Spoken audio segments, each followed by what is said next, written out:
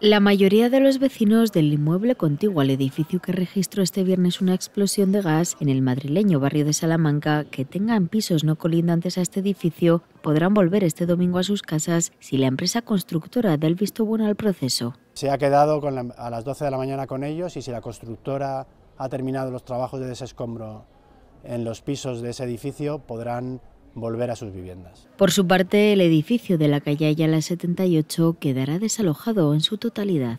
Dado que en sus plantas superiores el muro medianero se ha desplazado y al ser un muro de carga necesita eh, ser apeado.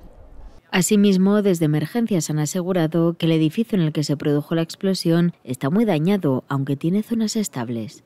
En este sentido, ha aclarado que actualmente hay que esperar a la labor de la empresa constructora para tomar una decisión sobre lo que va a ocurrir con el edificio.